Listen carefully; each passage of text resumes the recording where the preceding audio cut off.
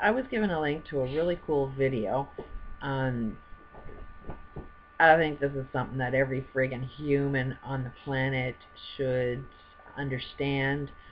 I, my whole channel is is discussing a lot of this information that I've personally studied. Um, this is probably explains in, in a lot more detail why this bottled water concept would help anybody solve whatever problem that they're dealing with. Personally, I think we are dealing with a lot of global issues and we're looking for one leader to come up with the answer to everything and we're all sitting there with our heads cut off and yet it's like the universe is hiring.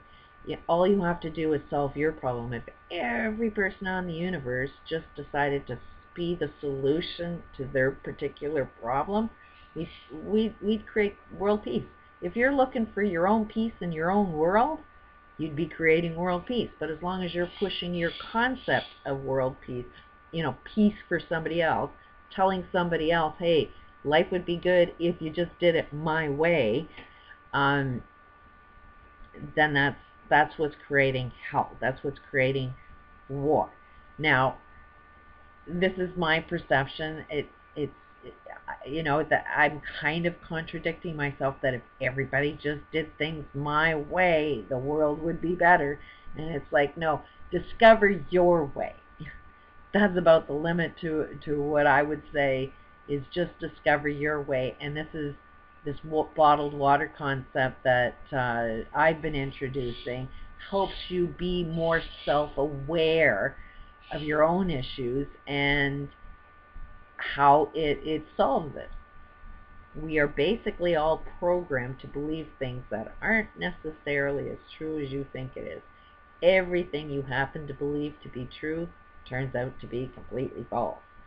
Um, so give this, I'd really like to open up the discussion to this uh, documentary.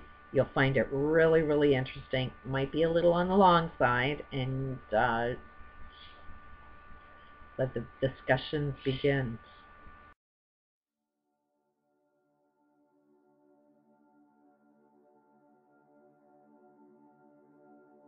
The following documentary presents new developments in neuroscience and a solution to the many current unsolved problems in physics. While it keeps clear of metaphysical correlations and is solely focused on scientifically verifiable data, it also has philosophical repercussions pertaining to life, death, and the origin of the universe. Due to its many layers and density in presentation, it may require multiple viewings to fully comprehend its implications even though considerable effort has been made to simplify the complex scientific concepts that are discussed. Furthermore, I would like to thank the author for allowing me to follow and report on his work, as he wanted to remain dedicated to his research and avoid becoming involved in its media coverage.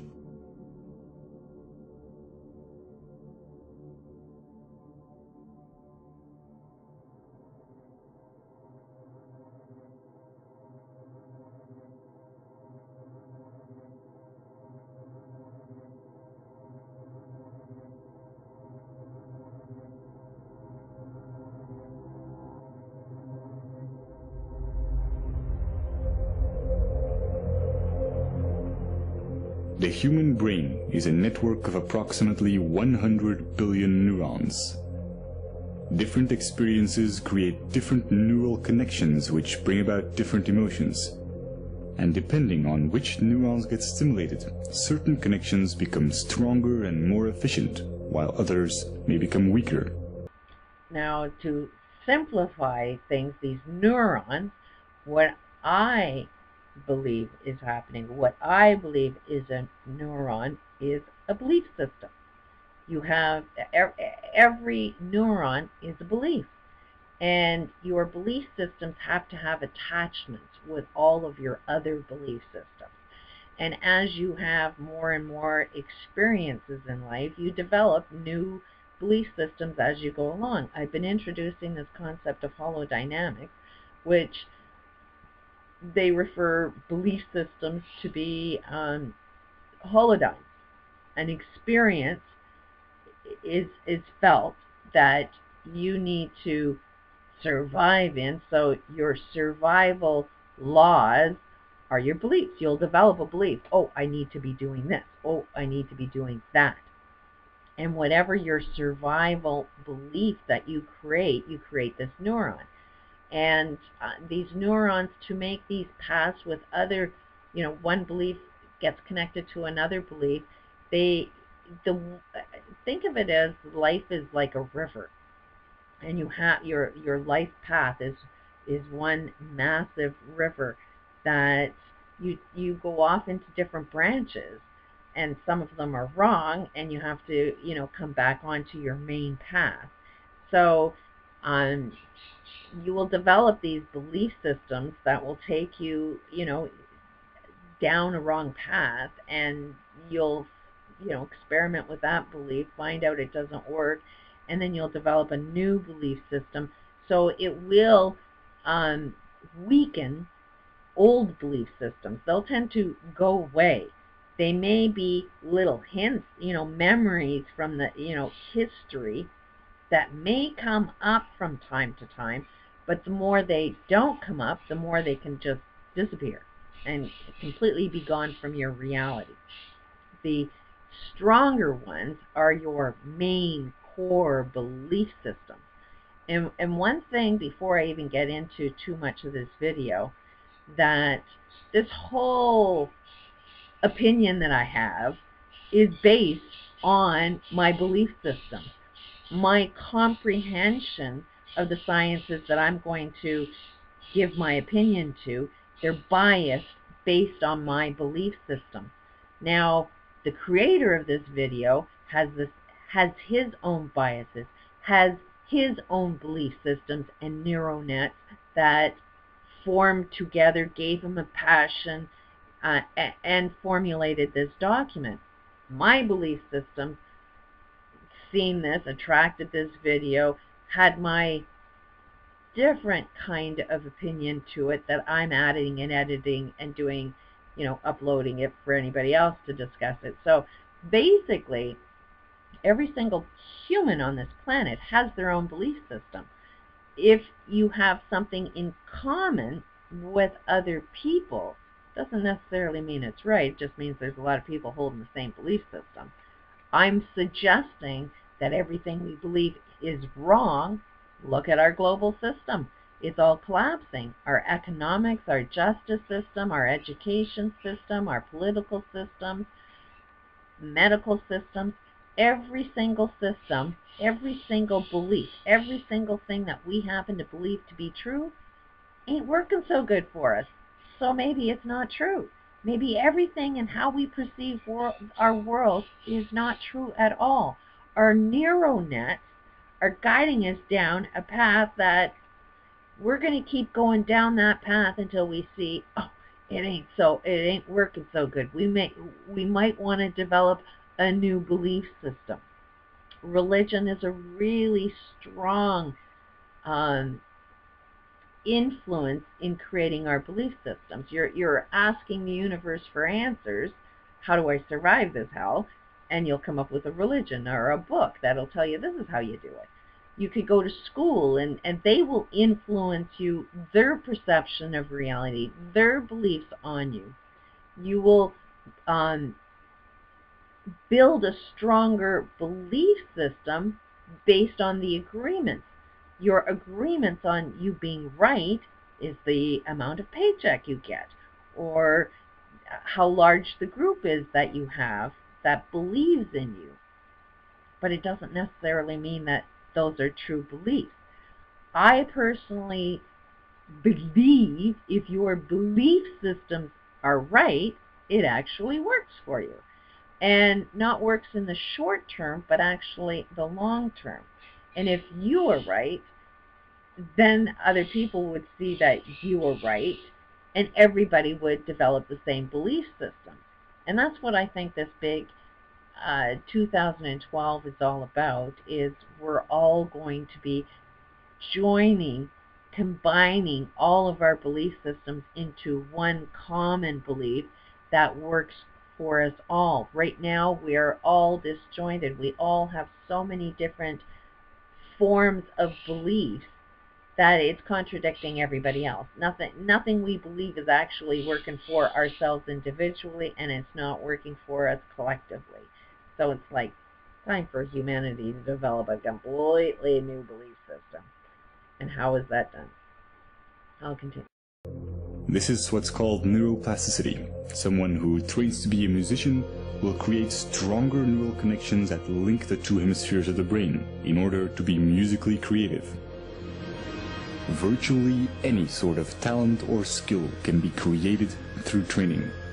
Rudiger Gamm, who was a self-admitted hopeless student, used to fail at basic math and went on to train his abilities and became a famous human calculator capable of performing extremely complex mathematics. Now, this particular um, problem, admitting that you are, you know, failure as a student, you know, and failed math, and and trained the brain to be, uh, you know, a human calculator. I kind of question, was that, you know, a person's individual problem and solution, or was that a problem that was pressured by society? Society wants you to be the perfect student. Society says you're failing. Society judged you, and you want to fit within society. So while you want to fit within society, you'll you'll be the solution society wants for you. And I'm saying that's probably a wrong direction to go into. Why would you want why would you want to be a human calculator? Where does that benefit you? It makes you part of the group. The group that doesn't work. Um, I think it's extremely relevant because why would this be an issue to you? Where is your perspective in that particular problem? Where is your full potential and where is society's pressure on you, the influence of society pressuring you to fit within it. For me, I've had a lot of global pressure to be better at English. I suck at English. I have no wish, want, and desire to it.